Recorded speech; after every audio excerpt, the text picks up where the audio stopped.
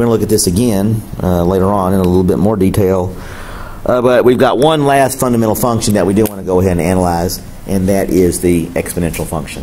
And uh, the basic exponential function, e to the x. Uh, the question is, well, it's not a question because I told you. Here it is. This is the derivative. The derivative of the exponential function is itself. That's very special. Very, very special.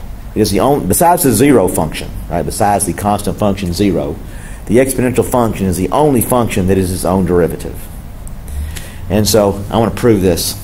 Let's prove by definition why the um, exponential function is its own derivative. So I'm using the definition, the one we used on the test, right? The derivative of e to the x uh, by the formula. Uh, again, just to, remind ourselves what this formula is.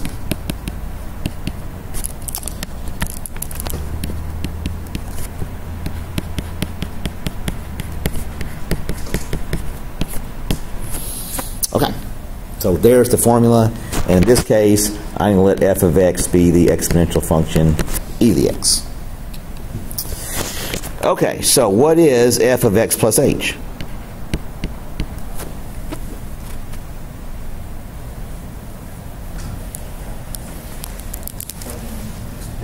We always do. Wherever we see an x, we replace it with x plus h. So that would be e to the x plus h. That's f of x plus h. And then I subtract e to the x, and all of this is over h. Uh, and now things uh, now things come to a standstill. Uh, I'm not sure exactly what I'm supposed to be doing now. Um, we don't, you know, we've talked about different uh, function forms and how they're treated through this limit. Power functions are done through factoring. Uh, radical forms are done through uh, con conjugates. reciprocal forms are done by identifying the least common denominator or clearing compound fractions, however you want to look at it. what happens here? how do we actually perform the necessary rearrangement that we need uh, for this indeterminate form. Uh, what I'm going to do is I'm going to go ahead and factor out, uh, in fact, well, first of all, let me go ahead and make it clear. Um, the uh, exponent x plus h in that initial term, that's the result of our addition rule. Right? x plus h comes from multiplying e to the x times e to the h. That's the way we simplify expressions that involve a common base. So the first thing I'm going to do is I'm going to go ahead and um, separate those now. And once I've done that, I can identify a common factor. Right now, e to the x is a common factor now that I've rewritten the original uh, front term in terms of that product. So the next step is to go ahead and factor that out. So I'm going to take the e to the x out pull it out front, what do I have left?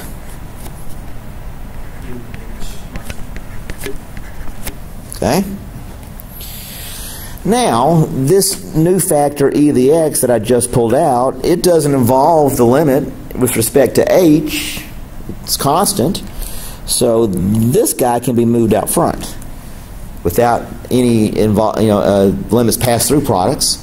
And since h isn't part of this factor's expression, it really doesn't enter into the process of the limit. So I can go ahead and pull this guy out. And in the end, the only thing that I'm really trying to determine is what is this equal to? What is the limit as of e to the h minus 1 over h as h approaches 0? Uh, so this is where it all comes down. It all comes down to this. If I can evaluate this limit, then I can solve this problem.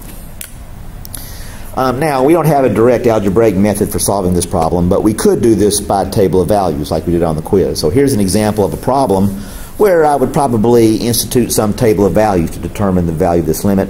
Um, I don't think I did it here in advance. Uh, I guess I could post that. Uh, but I'll tell you what happens. Uh, if we let h approach 0 in the usual way, you know, pick a sequence of points, 0.1, 0.01, 0.001 coming in from the left, negative 0.1, negative 0.01, negative 0.001 coming in. Oh, that's from the left, the other one's from the right. What am I going to see? Well, turns out this limit is equal to 1. And so once the limit has been evaluated, all I have left is that factor of e to the x that I just got through removed. Um, so I do want you to verify that, right? Um, I'll go ahead, when I post the notes, I might put that table in, or I might just ask you to do it on a test or a quiz. But that's an important idea, right? And there's an example of why we need that tabular method avail- uh, to have that available to us. Uh, otherwise, I'm not sure how I would have determined what that limit was, uh, what was happening there. Um, I don't know. There might be some geometric method. I'm not sure, but tabularly, I can establish that. Now I've proven it. As long as that limit actually equals one, then the derivative of the exponential function is itself. Oh, I lost my notes. I don't know where they went, so I'm going to have to remember how this goes. Uh, well, first of all, let's do this. Let's just do the usual thing. Uh, what's the nth derivative? And this should be an obvious question. What's the nth derivative?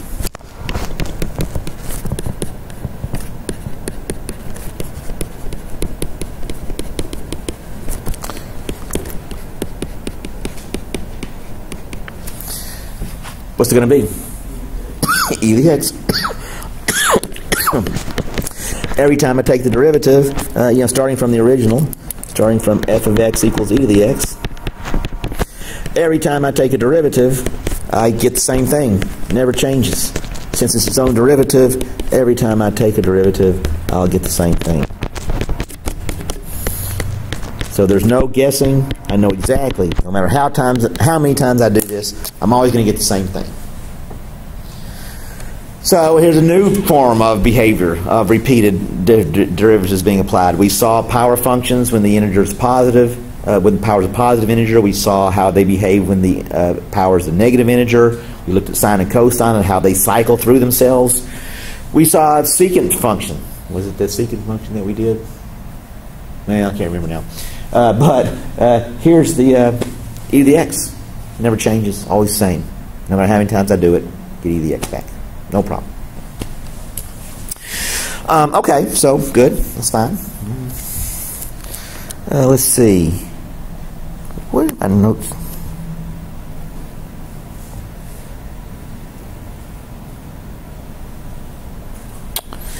I don't know where they went.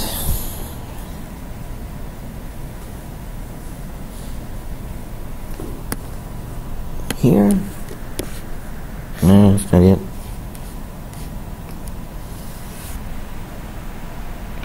Oh, wait a minute. Maybe they're here.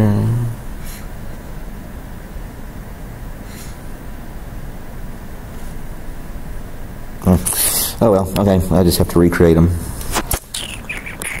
Okay, uh, so let's do this. Uh, again, here's the. In fact, we just got through doing this with respect to the um, trig function. Uh, let's find the derivative of, uh, of this f of x. Uh, let's do this one.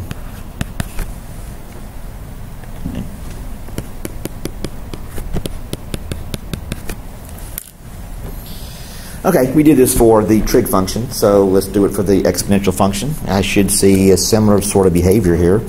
Uh, let's see. Um, so, what rule am I going to use? So I need to split this up into its uh, product components. So I guess I'll call this function here u, and I'll call this function here v. So what is the derivative of u going to be equal to? and the derivative of v. And so that's easy. And so what is the derivative of this function? And now back to the usual routine. Uh, the derivative of the first factor function, which we just determined to be 2x, multiplied by the original second factor function, e to the x. And then I'm going to add the original first factor function multiplied by the derivative of the second. And since the function and its derivative are the same, I've got that common factor. So there's the result of differentiation. But again, let's go ahead and make a habit of it. Uh, if I produce multiple terms, let's go ahead and factor out the common factor. What's the common factor between these two terms? And what do I have left? There, two in front, x in back. And this is always the case for the exponential functions because of the fact that whenever I apply product rule to some combination of exponential forms, always re recover the original expression. So always factor uh, these expressions according to the common factor whenever we have uh, issues of, of, this nature. Um, let me think, uh, well, what was the other one? I just saw it. Yeah, let's do this problem. Yeah, let's do this problem.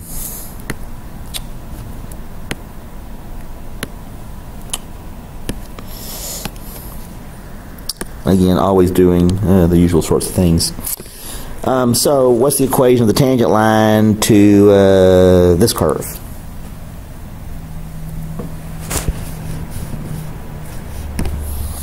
Let's go ahead and do that. Why not? Okay, so what comes first? Derivative. So here's my function y. Anytime I see tangent line as part of the problem, I know what I'm going to do. I'm going to find the derivative. What's the derivative of this function?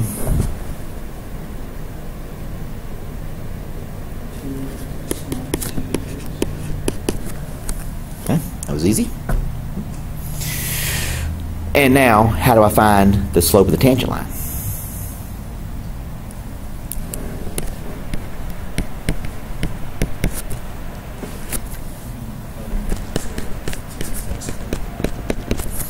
So we're doing this evaluation, x equals 0. So I'm going to plug the um, point of tangency, x coordinate, into the formula.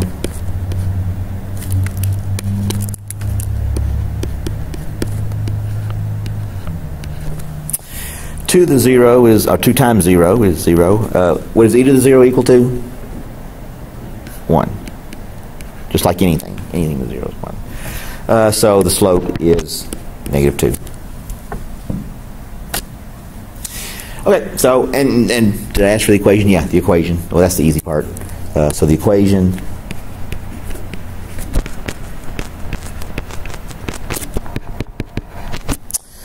So the equation is going to be uh, what? Uh, y minus negative 2, negative 2, x minus 0. So y plus 2, negative 2x. So there's the equation of the tangent line.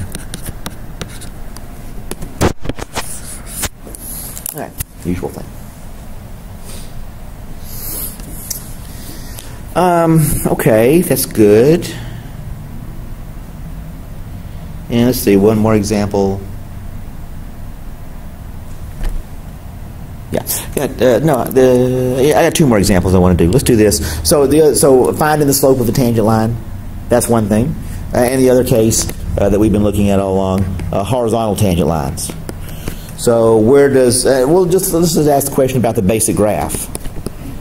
y equals e to the x. Where does this graph have horizontal tangent lines?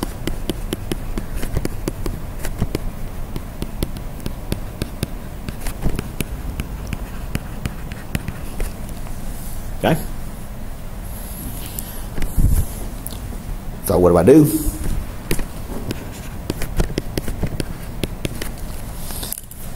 This is a question about tangents, so i got to have the derivative. Okay. I'm looking for horizontal tangent lines, so now what do I do?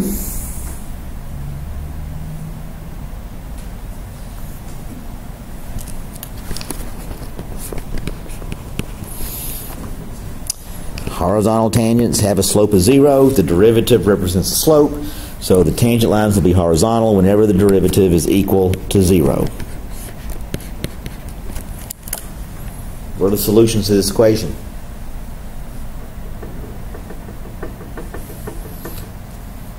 For what values of x is e to the x going to be equal to 0? No. E the 0 is 1. So what are you going to say? It's impossible. It's impossible that the, any positive number raised to any power could be zero or negative. So this equation has no solutions. Which means that the graph has no horizontal tangent lines.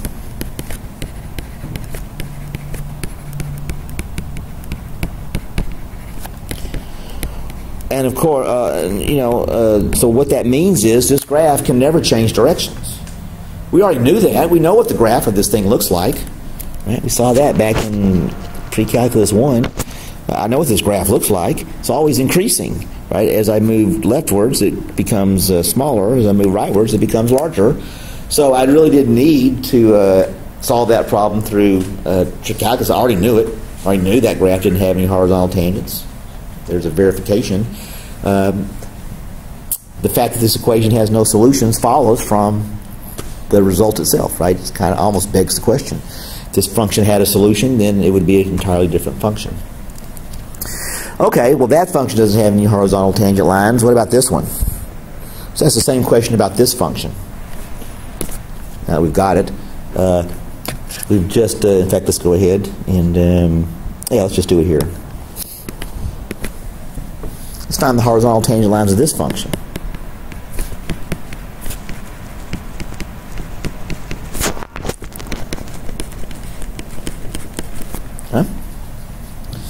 So what do I do? Okay.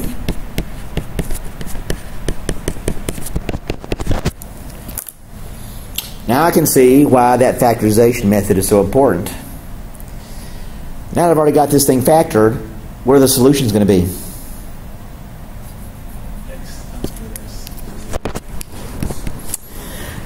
Each fa- in order for this product to be equal to zero, the factors themselves must be zero, so one possible outcome is here. If x itself is zero, that's a solution. The second possibility is here, whenever e to the x is 0, that'll be a solution, but we just showed this is impossible, so I don't get anything out of that. And finally, this last factor, if it turns out to be equal to 0, then that would be another potential turning point. Uh, well, I guess I'll do it, do it this way.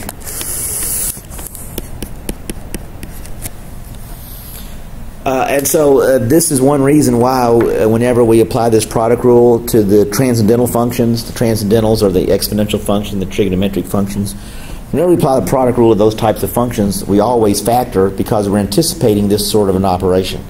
Uh, if I'm trying to solve this equation in order to locate the horizontal tangents, I'm setting it to zero. In order to solve an equation based on uh, the zero product rule, I need that factorization to be part of the uh, component. So there's the result. This graph has two horizontal tangent lines. One of them occurs at 0, and the other one occurs at x equals negative 2. So that's a clue to what this graph might look like. Doesn't solve all the issues with this graph, but now I know something about it. Two potential turning points. One at the origin, uh, or yeah, one at the origin, one at where x is negative 2. Um, so in about a month or so, that's what we're going to be doing. We're going to actually graph this by hand by making this identification and a few others. Okay, well, I don't know where my notes went. I'll, these will look a lot neater when I post them, but uh, there, uh, that's our last. Uh, we took care of the trigonometric functions and finally our exponential function. There's still one left over, though. We've still got one fundamental uh, algebraic function that we haven't treated logarithm. We haven't done the logarithm yet. So uh, I think we're going to do that next week, I think. Yeah. Okay, uh, so there you go. Everything in the homework is ready to go. So when we come back in on uh, Monday, we'll have our next quiz, and then we'll move on to the next thing. So, okay, have a good rest of the day, and I'll see you next time.